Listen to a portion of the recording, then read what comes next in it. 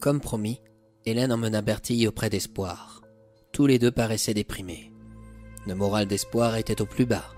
Il n'obtenait aucune amélioration au niveau de la motricité de ses jambes. Lorsque Bertille arriva, il découvrit sa mauvaise mine. Il ne savait pas comment réagir vis-à-vis d'elle. En se mettant à sa hauteur, elle lui posa la question qu'elle n'aurait pas dû. Tu vas bien? Non.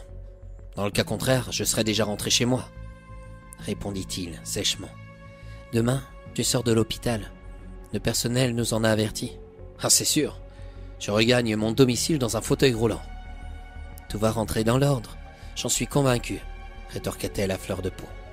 Je ne sais pas pourquoi tu es venu, ajouta-t-il, en ignorant sa remarque. Tout le monde annonce que mon père a tué ton grand-père.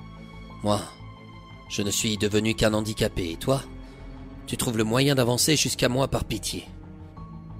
Je t'ai connu très optimiste, mais lorsque tu es mauvais, tu n'y vas pas de main morte. Au sujet de ton père, je n'écoute pas ce que les gens racontent. Ma mère pense comme moi, même si le contexte l'accable. Dis-tu cela pour me faire plaisir? Je ne suis pas venu pour te consoler ou par pitié. Je suis ici parce que je m'accroche à notre histoire. Mais si toi, tu n'as plus d'espoir, alors le meurtrier et le chauffard auront gagné. Est-ce de ça que tu as envie? Espoir la regarda dans les yeux. Elle l'aimait. C'était évident. Il ne désirait pas la voir souffrir, ni prendre de risques. C'est pourquoi il finit par lui affirmer. Laisse-moi. C'est vraiment ce que tu veux? J'ai besoin d'être seul pour réfléchir. Je t'aime. Ne l'oublie pas. De la bouche d'une fille, ça sonne étrange, déclara-t-il. Pourquoi? On ne se dévoile pas facilement? Non, mais c'est plus réel lorsque ça vient d'un homme. Sur ces derniers mots, il planta son regard sur le plafond de sa chambre. Bertie comprit qu'elle devait se retirer.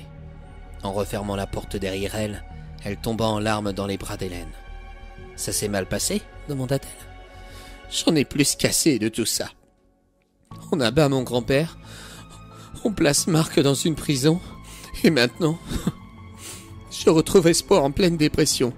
Quand est-ce que tout cela va s'arrêter? Ah, quand les hommes comprendront qu'aimer n'est pas jouer, répondit Hélène en pensant à Louis.